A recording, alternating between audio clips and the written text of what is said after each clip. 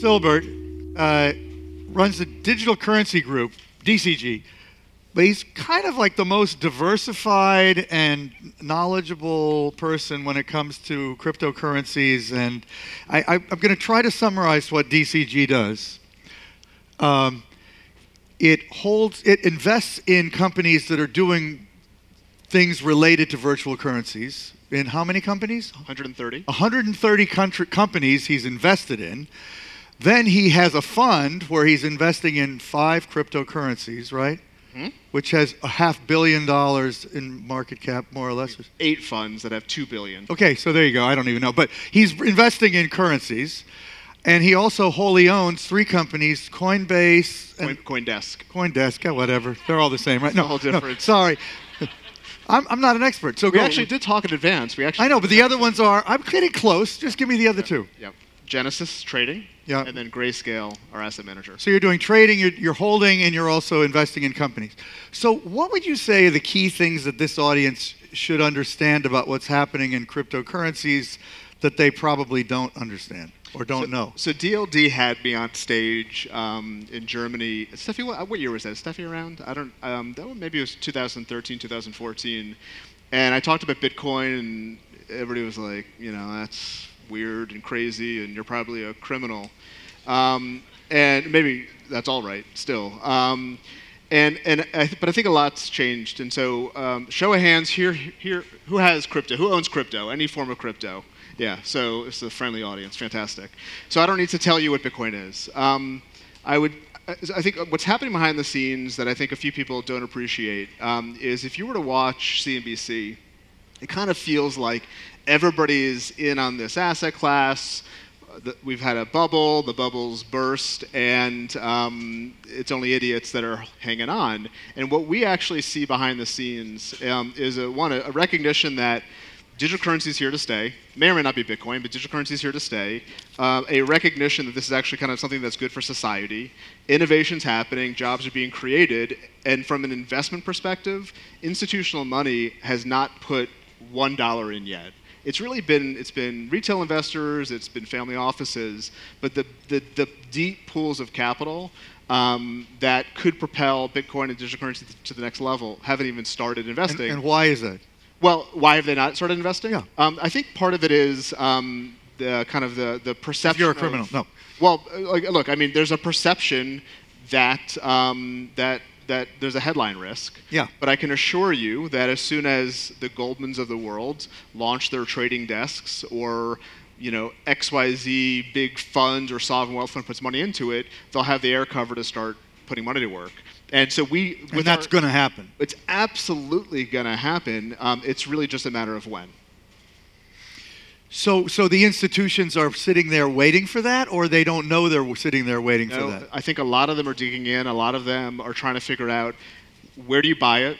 Um, they're trying to figure out how do you store it. Custody is still a big issue, um, and they're coming up with their investment strategies right now. And, and I do think that um, it'll start slow. You'll start seeing some headlines of, of money being allocated in, and then there's going to be a tidal wave. Tidal wave of capital is going to flow in, and I would say that at some point in the future, a year from now, three years from now, the conversation is not going to be is this a real asset class? Is this something we should be doing? It's going to be a conversation around what is the appropriate allocation of a portfolio into digital currency. Okay, yeah, but the question is into what? I mean, you know, yeah. there's Bitcoin, which you know everybody has heard about, and that's probably what most people here own, or maybe not.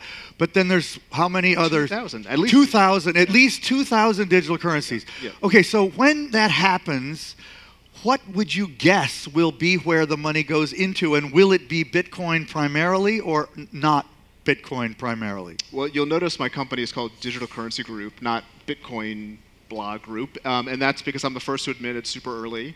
Um, and if you look at the landscape of cryptocurrencies out there, uh, I would say that 99% of them are going to go to zero. Um, and the ones that we like, the ones that we actually have our money in, we have about half a about half a billion dollars of our own money in. We have a Bitcoin, we have Ethereum Classic, we have something called Zcash, we have something called Zencash, and then the one that we're really excited about now is something called Decentraland. Okay, well, let's get to Decentraland in a minute. But so you do have some Bitcoin. What percentage of that half billion would so be I, I Bitcoin? keep, I keep you 50% in Bitcoin. Yeah. And then the other 50? 50, five zero, yeah. Okay, so And- you're still a big believer. Yeah, Bitcoin. Look, Bitcoin is it's digital gold. It's the kind of the it's the main currency that through which people trade in and out of the other ones. Yeah. Um, and it's the one that I can articulate an actual investment thesis better than anything else. It's it's digital gold. There's seven trillion dollars of gold in the world today. The younger generation doesn't value gold like our parents and grandparents did. Some percentage of that seven trillion is going to move into digital currency, and I think Bitcoin. The question is how much. Okay, so why he has more expensive jeans perhaps than he used to, he bought $150,000 worth of Bitcoin at $10 personally, right? Is that that's a public fact, right? So that's when he that's why he thinks it's a good investment, obviously. um, but uh, Yeah, I am talking my book. I, I, I will admit that too. you so so and let's talk about those other two, Zcash and Zencash. Zen, yeah. Why are those in your very limited portfolio, and what do they represent that's different? Because you have a good explanation of that. So there's a new cohort of these um, digital currencies that are coming out that are private, privacy focused.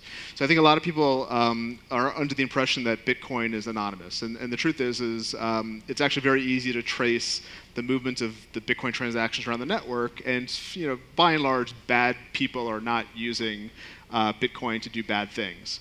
Um, so I do believe that Because they could get caught. they will, yeah, because they will get caught. Um, they're, they're better off using $100 bills or whatever they use. So, um, so I believe now and more so in the future, financial privacy is going to become um, a really, really important um, um, uh, characteristic that people are going to look for in their money.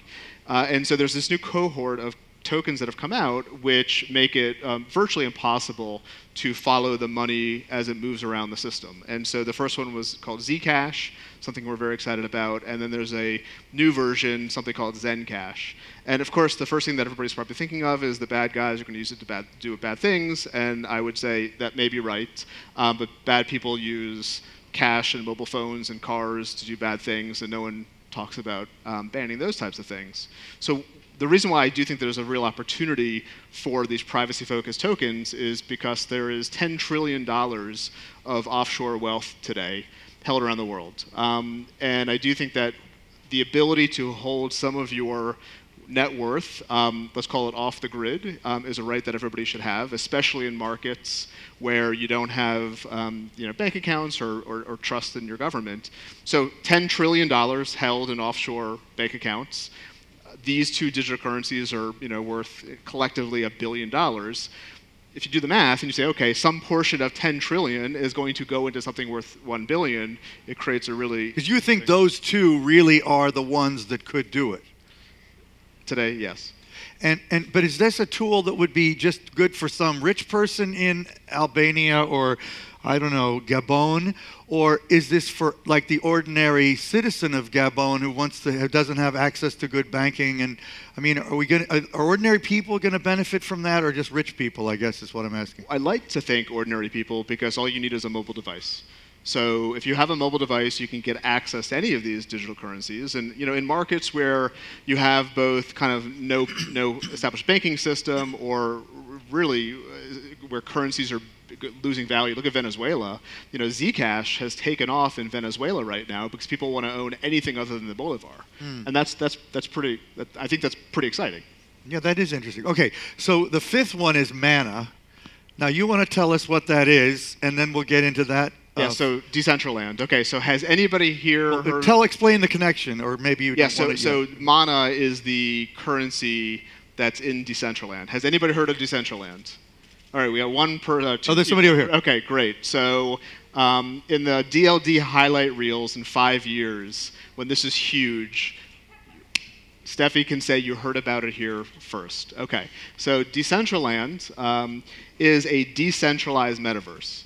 Uh, so anybody who has read Snow Crash or Ready Player One, saw the movie, um, or remember Second Life, which is still around, um, Decentraland is a decentralized version of that. The difference being the world is finite in, in size. Um, it's the size of Washington, D.C. right now, and it has an in-world cryptocurrency called Mana. And that Mana is finite in supply as well. And it's used VR as the way you navigate it. Yeah, so when this world launches later this year, you'll be able to navigate it via both actually web and VR. And so it's kind of crypto plus VR, you know, Second Life. And, you know, the reason why I'm so excited about it is because I fundamentally believe that the virtual world, the metaverse, is going to exist in the future. Um, you know, the world that was envisioned in Snow Crash or Ready Player One is going to happen. Um, people play, spend a lot of time, you know, doing games, playing games, getting involved in these immersive type um, experiences.